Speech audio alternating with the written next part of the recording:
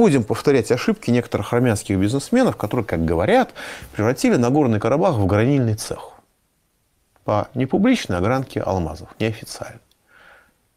Почему, одна из причин, почему Армения не признала Нагорный Карабах? Да поподробнее расскажите. Ну, это опять-таки свечку не держал, это гипотеза. Это гипотеза, скажем корректно. На Горном Карабахе были довольно значительные цеха по огранке алмазов.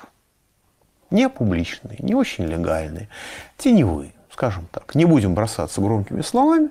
Если бы Армения признала эту территорию там, своей или независимым государством, Армении пришлось бы как-то относиться к этой практике. Ну, а рынок довольно конкурентный, и, в общем, ей как бы стали бы предъявлять серьезные претензии за это.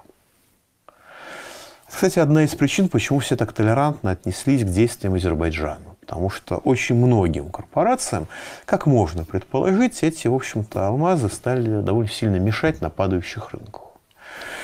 Вот. А, поэтому можно, конечно, над армянскими властями, что что ж вы визжите, когда вы сами не признали Нагорный Карабах ни своей территорией, ни независимой республикой. И, в общем, это вина, это неприлично.